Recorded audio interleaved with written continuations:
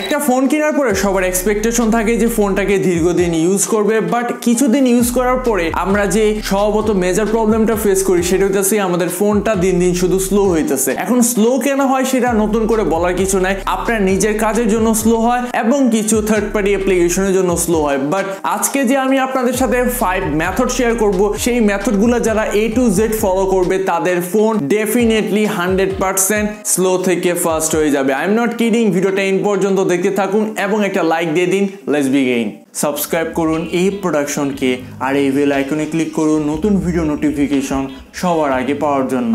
First method হচ্ছে গিয়ে system update অর্থাৎ আপনি আপনার ফোনটাকে কিনলেন, কেনার পরে দেখতে পারবেন যে কোনো না কোনো জায়গায় কিছু না কিছু একটা ইস্যু থাকবে। অর্থাৎ আপনি এমআই ফোন চালান সিম্ফনি চালান ওয়ালটন চালান ভিভো চালান, যে কোনো ফোনই চালান না কেন, সেই ফোনে কিছু না কিছু প্রথম দিকে প্রবলেম থাকে সেই প্রবলেমটা ফিক্স করতে তারা মাসে একবার বা ডেভেলপাররা কিছুদিন পর পর আপডেট নিয়ে আসে। সেই আপডেটটা আপনার অবশ্যই করতে হবে। এখন আপডেটের জন্য অনেক জায়গায় অনেক কথা হয়ে থাকে যে আপডেট করলে ফোন আরও স্লো হয়ে যায় আপডেট করলে হ্যান হয়, ত্যান হয়। তো তাদের উদ্দেশ্যে বলতে চাই যে আপডেট করলে কোনো প্রবলেম হয় না। আপনারা সিম্পলি আপনার ফোনের সেটিং অপশন থেকে অ্যাবাউট ফোনে যাওয়ার পর দেখতে পারবেন যে সিস্টেম আপডেট নামক একটা অপশন রয়েছে বা সফটওয়্যার আপডেট তো সেখানে ট্যাপ করার পর আপনারা দেখবেন যে আপনার ফোনটা কি আপ টু ডেট নাকি? যদি এমআই থাকে নাইন থাকে, তাহলে টেনে আপনি ওটাকে আপডেট করতে পারেন। বা যে কোনো ফোনে আসলে আপডেট থাকে। সেই আপডেটটা করার ফলে আপনার ফোনে আগের থেকে অনেক ভালো পারফরমেন্স পাবে। অর্থাৎ যে যে জায়গায় একটু ইস্যু ছিল, সেই ইস্যুগুলো তারা অটোমেটিকলি ফিক্স করে দিবে। সো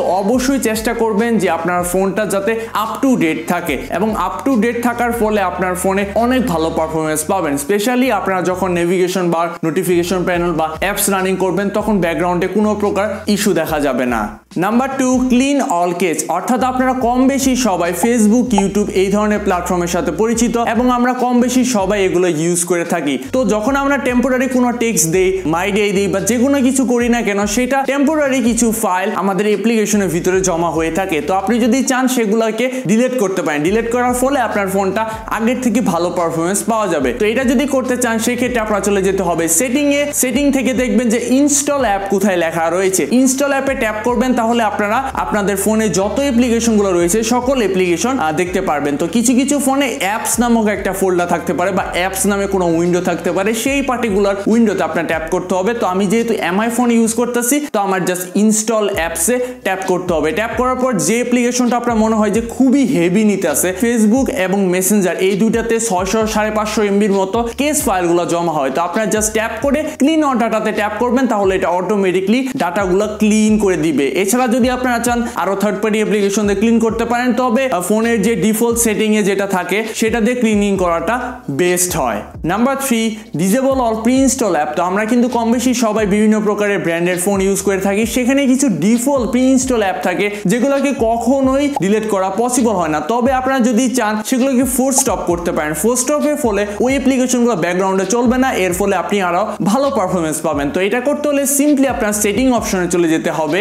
এরপর বেসিক্যালি একটু স্ক্রল ডাউন করতে হবে, তারপর আপনার ইনস্টল অ্যাপ একটা অপশন পাবেন, সেখানে করবেন ট্যাপ ট্যাপ করার পরে বেসিক্যালি আপনাদের যে প্রি ইনস্টল অ্যাপগুলো রয়েছে, সেগুলো দেখতে পারবেন। তো যেগুলো প্রি ইনস্টল অ্যাপ সেগুলোতে ট্যাপ করার পরে আপনার ফোর্থ স্টপ নামক একটা অপশন পাবেন। সেখানে ট্যাপ করে ওগুলাকে ডিলিট করে দিবেন। যদিও ডিলিট হবে না, তবে ফোর্থ স্টপের ফলে ব্যাকগ্রাউন্ডে কোনো প্রকার জায়গা খাবে না, বা ফোর্থ স্টপ যদি না হয়, সেক্ষেত্রে ডিজেবলটা করে রাখতে পারেন। বিভিন্ন ফোনে বিভিন্ন সেটিং রয়েছে, তো একটু কষ্ট করে দেখে নেবেন। Number four use lite version অর্থাৎ অনেকেই রয়েছেন যারা বেসিক্যালি যে মেইন অ্যাপ্লিকেশনগুলো থাকে সেগুলো ইউজ করেন। তো সেক্ষেত্রে আপনার ফোনের উপর একটা চাপ পড়তে পারে যদি আপনার ফোন স্লো হয়। সেক্ষেত্রে আপনার লাইট ভার্সনটা ইউজ করতে পারেন।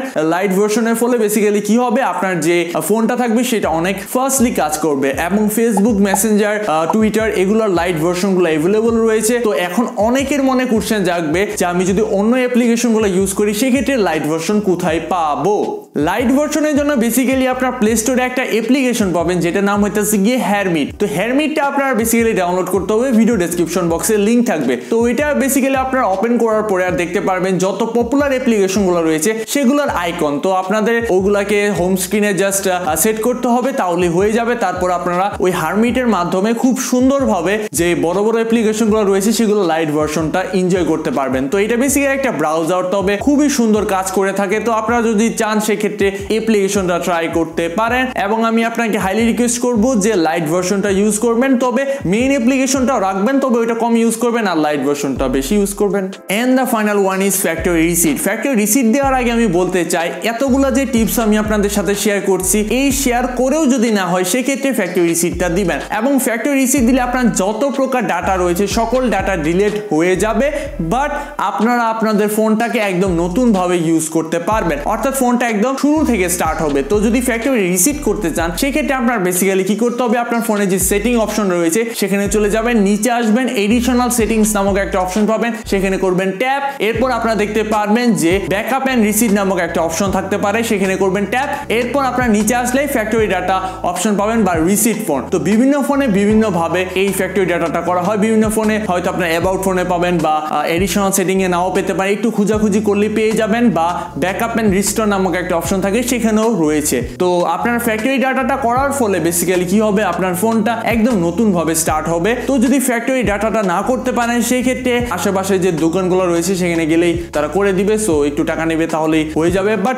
অনেক ভালো পারফরমেন্স পাবেন। কারণ ফ্যাক্টরি ডাটাটা করার ফলে আপনার ফোনটা একদম নতুন ভাবে স্টার্ট হয় এবং ফ্যাক্টরি ডাটার ফলে যদিও ডাটাগুলো ক্লিন হয়ে যায়, তবে মেইন মেইন অ্যাপ্লিকেশন যেগুলো ইউজ করেন, সেগুলো ইনস্টল দিবেন।